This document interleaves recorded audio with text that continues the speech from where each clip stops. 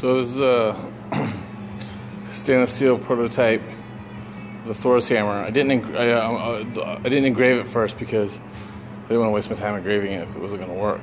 So now I have to pay in the ass, but I'll go back through and I'll, I'll chase some lines into it. But you can see the hammer, the two pieces form a hammer on the front there.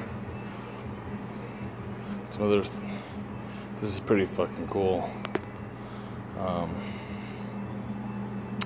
yeah. So I'll, I'll, chase those lines in there. Uh, some thick stainless, 10 gauge, I think.